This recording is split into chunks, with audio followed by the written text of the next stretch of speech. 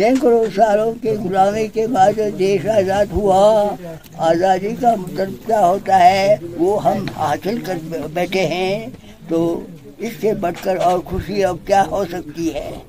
हाँ जी। तो हर एक हर एक इलेक्शन को ये धार्मिक विचार से भी मानते हैं। धर्म धर्म। धर्म मानते हैं।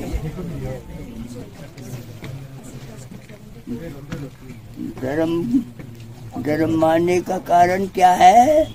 अच्छे आदमी को आगे पहुँचाया जा रहा है। उनको दे दो वो। दे दो अच्छा बिठा देंगे पहले। ठीक है बिठा दो। क्या करना है? टिक करना तब देना हमने ना बिठा दो। चलिए सर सी हम अंजन ऐसा जय जय इंजन लो है कुछ पका ओ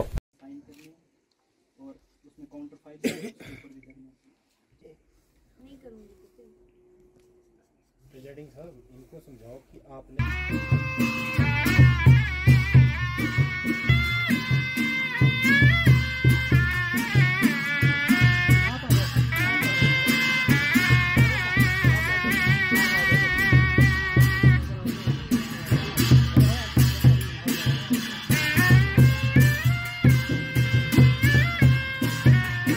पहले तो आ, हमारे लिए बहुत ही गर्व की बात है कि श्री श्याम शरण नेगी हमारे किन्नौर के ही नहीं सिर्फ़ इस प्रदेश के ही नहीं पूरे देश के एक बहुत बड़े लेजेंड है जिन्होंने उन्नीस सौ इक्यावन में इंडिपेंडेंट इंडिया में पहला वोट डाला। अ, उसके बाद जितने भी इलेक्शंस हुए हैं चाहे वो असेंबली के हो लोकसभा के हो या पंचायत के हो इन्होंने हर एक इलेक्शन में बूथ जाकर वोट किया है।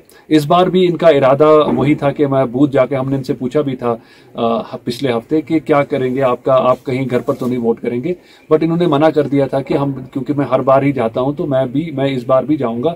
बट अनफॉर्चुनेटली थोड़ी सी तबीयत इनकी खराब हो गई तो फिर इन्होंने जो है अपना आइडिया चेंज किया कि अब मैं घर में ही ट्वेल्थ फॉर्म इन्होंने भरा और ये घर में ही वोट इन्होंने आज डाला। तो ये हमारे लिए हर्ष की बात है कि ये हमारे किन्नौर से हैं और पूरे देश में ये जो है पॉपुलर हैं और इसलिए आज पूरा प्रशासन यहाँ आया हुआ है कि इनसे जो है ये पोस्टल बैलेट का जो है वोट डलवाया जाए और ये हमारे फिर से ये वाला वोट भी जो है असेंबली का इन्होंने अब दे दिया है। दैट मीन्स कि इस असेंबली का भी ये वोट दे चुके हैं। तो हमारे लिए बहुत ही गर्व की बात है।